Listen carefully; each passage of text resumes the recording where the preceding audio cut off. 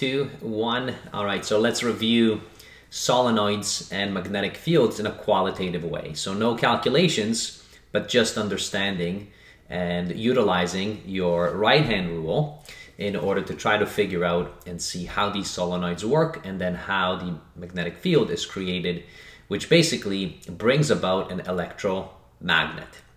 So First, what you see here on the screen, okay, is the kind of a wire that you can imagine and, and a wire going into the page is going to have a cross and a wire coming out of the page, okay, is going to have a bullet.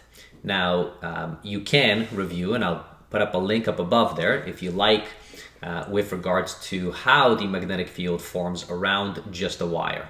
Here, we're going to start to wind up the wire. So what we're going to try to do is the following. So here's a, a really nice kind of a schematic, okay, and also a little bit of a simulation from stickmanphysics.com. I'll put up the link, okay, to this uh, directly in the description. So, you know, this is definitely not my work, it's theirs, but they have captured this in a very nice way. So a solenoid, which is something that you see there on the left, you can kind of ignore the magnetic field, which gets created. We'll try to describe it is the fact that if you turn on a current and you start to wind things around, okay, so if you have a spiral as it goes through, and you can see there, now those are not electrons that are flowing. Uh, notice that it's going from positive to negative, so this is the conventional current, which is actually flowing, so we'll assume that it's the conventional fluid that we have. If you do that and you wind it around, typically in the center we might put a kind of an iron, so a ferromagnetic some, some kind of a soft core which we can wind around and it also increases the magnetic fields okay, within there. So that's what you see there. That's the gray that it gets wound out. But even if that wasn't there and we start to wind things up, we notice and we turn on the current that we have an actual magnetic field that gets created. And this would have been an electromagnet because you're using electricity. Okay, so it's flowing, creating a current, and then it also is creating a magnetic field all the way around, as you can see there. So we're going to try to explain this concept momentarily. So let's come back to here and make it a lot simpler. So at first, uh, let me remove this into the page, okay, and then let me remove this out of the page so you kind of know what's happening within here. So if you take this and we have a wire, so let's say the first one which is kind of going right into the page, right? So this is, you know, the one that goes right in, so that's the cross you know that if that wire kind of like extends out, then what you will have is a magnetic field which forms around. So it's going to create these concentric circles all the way around here. So it's going to go all the way around, right? So there's a magnetic field that now starts to form. So I'm going to just draw three. Of course, this continues on and it gets weaker as you have it. Now, the direction of the magnetic field within here is actually in the clockwise direction. So the magnetic field is going to be forming and this is the magnetic field direction. So that's what you would have. Now, if you take the other wire and that wire is now, um, as you can see there, so it's out of the page, right? So if it is out of the page within there, so what you have, okay, so within, so if this thing is coming out of the page, so this would be kind of out of the page in, in this way, so you would also have, I'm gonna switch within here so it's a different color that pops out at us. So I'm gonna make it green. So you also will have a magnetic field which forms in. Now notice that, it's not exactly center, but let's try our best here. So notice that if you take this in, then what you're going to have is that these things are going to start to interact with each other, right? So as you're going all the way around here, so, whoops, that's not what we wanted it. Okay, let me just do that. So this starts to interact with each other. So the two magnetic fields will interact. Now, in this way, so it is not going in the clockwise direction, it's actually going to be going in the counterclockwise direction. And you can use your right hand rule, right? So that's the kind of link that I pointed out. So that right hand rule will be, so now this is going to tend in this direction. So that's the magnetic field. But notice, so if this continues on, so it kind of goes in this direction, okay, in this direction. And the other one, okay, if it continues on, it also, so at these points, okay, notice that it's, they're going to interact and it's going to scale the magnetic field, okay, within there. So that's what would happen. Now, if you have this, let me kind of zoom this out, and you start to wind up, because when you're winding things up in a solenoid, so this is what I was showing you right here. So if you start to wind it up, so notice that you know you can imagine these these are coming in and coming out, okay? So on both sides, right? So and then they're just crossing all the way around. So you can start to wind these things up. And if you would put this, I'm going to duplicate this around. Let's say that there is another one okay, that goes something like this. And then of course you can keep duplicating these as you're going through. So what's going to happen? Now there's a lot of interaction as you can see here. Now some of these will cancel. So as these guys are going within this direction, right, all the way around. So some of those will start to cancel um, but some of them are going to start to add up right? So if you have if you're creating these wires going in and then you're creating wires coming out and now you can sequence them all the way through. Now you can do superposition and you can kind of just check for yourself all right so what's going to happen with the overall magnetic field? Is it going to add up okay or not?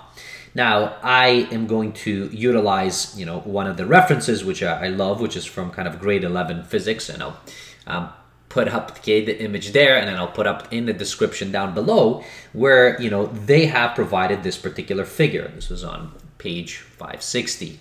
So notice what we have done here. So this is exactly what I was drawing over here, right? Where you have, so within here, so this is going into the page, okay, this is coming out of the page, into the page, you know, into the page, into the page, etc. I'm gonna just kind of zoom in into this right there. And notice they have nicely kind of just captured within what is going to happen in the superposition principle. And the superposition principle, so if you have these, notice these are the windings that you have. So as this is kind of flowing in, okay, so these are the windings all the way around. So this is kind of in three dimensions, so it winds these, these things up. And you have this magnetic field, so this is on the interior side, so they are adding up, okay, within here. Notice the arrows, okay, are going to be pointing in this direction. And then, you know, as it points out, okay, so it will kind of swing back out. This is the magnetic field, and it will continue on all the way around. So you, what you're doing is you're basically creating, so here's your south pole, and then here's going to be your north pole. So you have an electromagnet caused by the current now that you have this solenoid, which is these twirlings all the way around. And, you know, if you compare it to the regular magnet, so, you know, you may recall, so this is just your regular bar magnet. So this is no electricity at all. This is just an actual um, magnetic item where here's your north pole, here's your south pole. And we know that, you know, you're going to have this magnetic field which gets created. But notice that here, this looks identical, almost, of course, but we can replicate and this has a huge advantage because we can create now a magnetic field within here and we can turn it on and we can turn it off. So if we have a current which is running through here, it creates a magnetic field. If there is no current which is running through, then there is no magnetic field. So we have created an electromagnet which allows us to turn on and turn off magnetic fields, which we can use in various devices. Now, I would encourage you, you know, you can take a look. Okay, I'll I'll show you one example of these, which is basically how a bell can be rung, you know, the, the doorbells that, you know, we are thinking of, um, by just simply running a current and then turning off a current. Now, of course, you know, nowadays if we have wireless, okay, so it might work on a different technology, but originally it did work on this technology where we had magnets. But it also comes in in subwoofers, okay, so you also have electric kind of electromagnets there, which kind of control out those low frequencies. You also can take into consideration, for example, your car doors, which open up and close down. Okay, so that also works on kind of these electromagnets, okay, turning on and turning off, or switching in or switching out. So these are very okay, kind of applicable to numerous items. You know, sometimes even you know starters of, of various kinds, turning on lights and so on.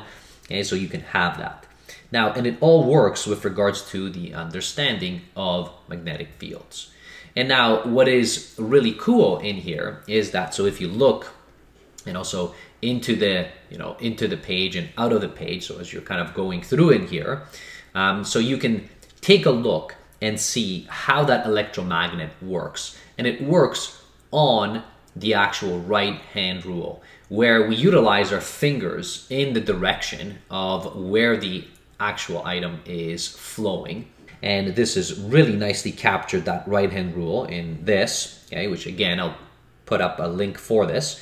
So notice that it goes with regards to the convention, um, where the fingers okay, of your right hand twirl around in the direction of the current which is flowing. So this is showing where the current flows and it lines up um, directly um, so within there. So on the top you will have your north, on the bottom you'll have your south. That's going to be the kind of electromagnet which gets created. But of course the magnetic field will look something like this, which you see there on the left hand side, which is really, really um, cool to be able to see. So you can use your right hand kind of rule, okay, all the way through um, that you have, okay, within here. So I would encourage you, you know, take your right hand, put your right, you know, your fingers, I'm actually reflected within here uh, on the screen on the video.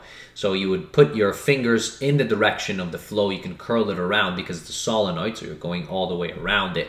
Okay, so that's what you would have um, with respect to that.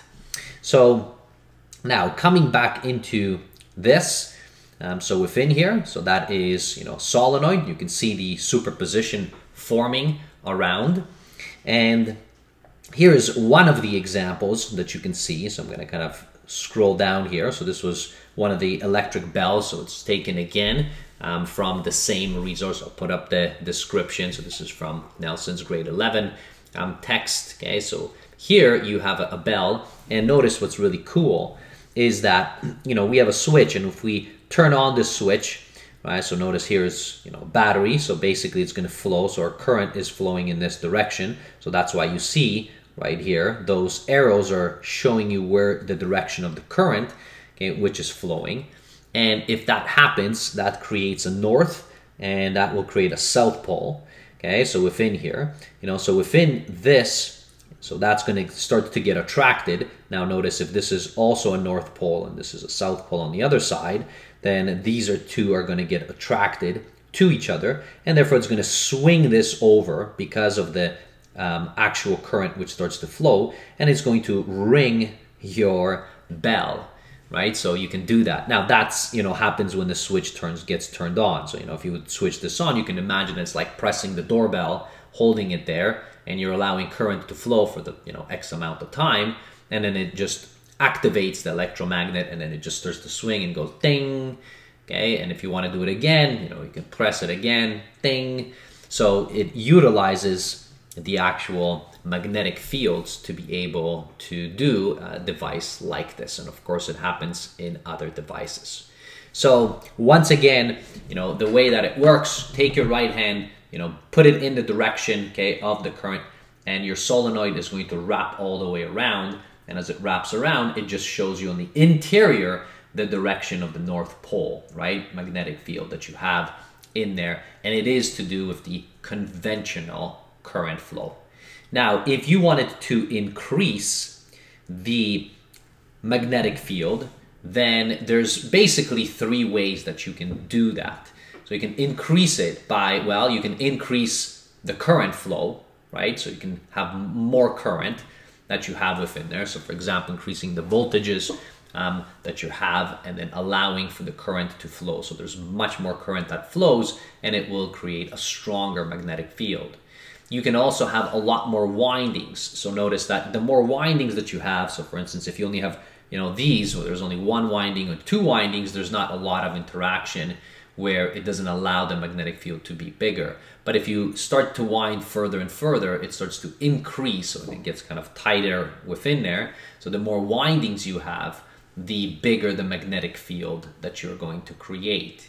And then the last one typically is you, you put a, a ferromagnetic kind of, so typically it's some kind of a soft iron core um, and an iron core actually aligns with the magnetic field. So it kind of amplifies uh, your actual magnet that you have. Um, if you don't have it, you know, you can still have a magnetic field. It just may not be as strong. So it's a, it's a nice thing. And it's also much easier to be able to wrap around um, that you're carrying through. So typically these solenoids, you will notice that they are wound around um, some kind of a, a iron core that they have on the interior. So the three ways again, you know, you can draw more current, you can have more windings okay, to increase, and you can put an iron core okay, or a soft core inside, um, depending on what that item is. All right, so there you have it. So that's kind of the introduction to solenoids and magnetic fields. All right, thanks for watching. See you in a future video. Bye, everybody.